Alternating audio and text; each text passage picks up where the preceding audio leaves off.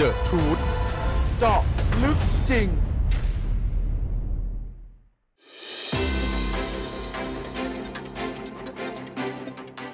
ลูกค้ามาเพียบสมบัติขอระบาย สลิมส่วนใหญ่พูดจาดีให้เกียรติคนอื่น ต่างจากสามกีบราวฟ้ากับเหว ทั้งที่เป็นพวกเดียวกัน อย่างที่ทุกคนทราบกันเป็นอย่างดีว่านายสมบัติทองย้อย อดีตกาเสื้อแดงและหัวหน้าการม็อบคณะราษฎร พักหลังมานี้มักจะออกมาโพสต์โจมตีม็อบสามกีบอยู่บ่อยครั้ง เนื่องจากอาจจะฝังใจเจ็บในเรื่องของผลประโยชน์ ในการเป็นกาดของม็อบ และเด่นชัดว่ากลุ่มกาดของนายสมบัติ กับกลุ่มกาดวีโวของโตโต้นั้น ค่อนข้างที่จะไม่กินเส้นกัน และก็เกิดการประทะกันภายในอยู่บ่อยครั้ง ล่าสุดวันที่ 9 กุมภาพันธ์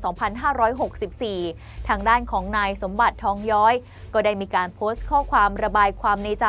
ถึงพฤติกรรมของกลุ่มคนที่ถูกเรียกว่าเป็นสลิม เพราะไม่เห็นด้วยกับพฤติกรรมสุดป่าเถื่อน และสุดถอยของม็อบสามกีบซึ่งครั้งนี้ก็ถือว่าเป็นการเปิดทัวร์ให้ทั้งสองฝั่งได้มาแสดงความคิดเห็นกันเป็นจำนวนมาก โดยได้โพสต์ข้อความว่า ช่วงหลังๆ มานี้ยอมรับเลยสลิมในเฟซเยอะมาก แต่ก็ไม่ได้มีอะไรมาก เขาเข้ามาสาเหตุใดก็ตามไม่ว่ากัน แต่เชื่อไหมว่าบรรดาสลิมเหล่านั้น เวลาเข้ามาเม้นผม น้อยคนมากที่จะด่า ด้วยคำด่าที่หยาบคาย บางคนจากเกลียดกลายมาเป็นผู้ดีกับผม เรียกลุง เรียกน้า เรียกพี่ ผมไม่รู้ว่าเขาหวังอะไรจากผม เพราะจริงๆ ผมก็ไม่ได้มีอะไรจะให้เขา แต่ผมสิ กลับโดนพวกเดียวกันเอง ด่าแบบสาเสียเทเสีย ไม่ให้เกียรติกัน ไม่เคารพกัน ไม่นับถือกัน ซึ่งผมก็ไม่ได้โกรธหรือโทษใคร นอกจากตัวผมเองที่ผมทำตัวผมเอง แต่แค่งงใจว่าพวกเดียวกัน ทำไมต้องด่ากันจนถึงขนาดนั้น เพียงเพราะคิดต่างกับพวกคุณ บางทีคนเสื้อแดงคนฝั่งประชาธิปไตยก็ไม่ได้น่ารักอย่างที่คิดเสียทุกคน หรือบางคนอาจจะเผด็จการทางความคิดเสียด้วยซ้ำซึ่งหลังจากนั้นก็ได้มีกลุ่มคนเข้ามาแสดงความคิดเห็นในเชิงเห็นด้วย ว่าจริงๆ แล้วกลุ่มที่เรียกตัวเองว่าประชาธิปไตย กับกลุ่มที่ถูกเรียกว่าเป็นสลิม มีการแสดงออกที่แตกต่างกัน โดยยกตัวอย่างความคิดเห็นนี้ สลิมส่วนใหญ่เขามีมารยาทค่ะ แยกแยะได้ไม่ด่าแบบไม่มีเหตุผล หรือเอาเป็นเอาตาย หรือใครคิดต่างก็ด่าว่าโง่ไปหมดค่ะ ครั้งแรกนะคะเนี่ยที่มาเม้นส่วนใหญ่อะไรที่ไม่เห็นด้วย จะเลื่อนผ่านตลอดค่ะ พี่ถึงจะคิดต่างก็ไม่ด่าใครค่ะ เพราะถึงยังไงเราก็คนไทยเหมือนกัน ใช่ค่ะ อย่าง3นิ้วบางคนยินดีที่ตำรวจเมียนมาโดนกระสุนถล่มยิงตาย 12 คน ในรถที่เห็นเป็นข่าวเมื่อ 4 วันก่อน บางคนบอกสมน้ำหน้า บางคนบอกสะใจ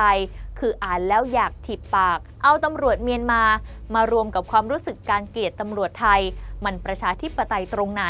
สมน้ำหน้าคนตาย มือชู 3 นิ้ว แต่หัวใจสลิมมาก ใช่ครับพี่ คิดต่างแต่โดนด่า แนะนำแก้ไขก็ไม่ฟัง อ้างว่ากูสู้มาเยอะ หมดมาเยอะกว่ามึง แน่จริงมึงมาทำเองเลย นี่หรือครับ ที่สู้เพื่อประชาธิปไตย แต่รับฟังคนคิดต่างไม่ได้ ผมมาอ่านความเห็นพี่เหมือนขั้วที่ 3 คือคนที่ไม่เข้าข้างรัฐ ไม่รอยย่อร้อยเปอร์เซนต์แต่ก็ไม่ใช่สุดโต่งแบบกูเกลียดแล้ว กูด่าบ้าบอคอแตกหยาบคายไม่มีชิ้นดี บางทีอ่านแล้วก็เห็นมุมมองบางอย่างที่เราอาจจะไม่เคยมอง เพราะเราอาจมีความรักความชอบของเรามาบังตาอยู่ ในขณะที่ถ้าจะให้เราไปฟังแนวด่าสาดเสียเทเสีย ลงใต้สะดืออย่างเดียวพ่นสีลงถนนกำแพงทำลายข้าวของ แล้วกะว่าจะเบิกเนตรเรามันก็ไม่ใช่ ก็ยังแอบงงงใจไปนั่งทนฟังกันได้ไง ด่าเพียวๆเป็นชั่วโมง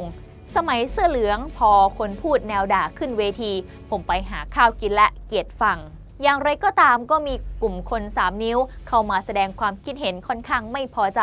ในการโพสต์ข้อความของนายสมบัติด้วยเช่นกัน โดยมีข้อความยกตัวอย่างเช่น สลิมจะไม่ถูกใจพี่ได้ไงล่ะครับ ก็พี่ชอบแขวะพวกเดียวกันเอง จริงหรือเสี่ยมไม่รู้ สลิมก็มาเก็บข้อมูล มาทำภาพตัดแปะ I.O. ไปเผยแพร่ต่อ ไม่ได้นิสัยดี หรือเป็นมิตรอะไรหรอก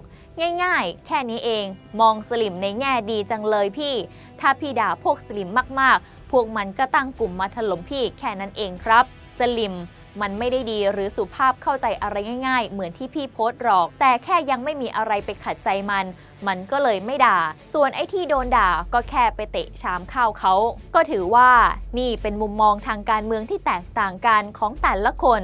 แต่อย่างไรแล้วก็ตามค่ะ ทุกคนก็จะต้องยืนหยัดอยู่บนความถูกต้อง ตามหลักหน้าที่ของพลเมืองที่ดี ที่จะไม่สร้างความเดือดร้อนให้กับประเทศชาติของเราค่ะ The Truth เจาะลึกจริง ฝากกดไลค์ กดแชร์ กด Subscribe เพื่อไม่พลาดข้อมูลข่าวสาร และสถานการณ์สำคัญ ทันทุกเหตุการณ์ พร้อมด้วยการวิเคราะห์เจาะลึกทุกข้อมูลข่าวสาร เพื่ออนาคตที่ดีของประเทศไทย จากทิศทางไทย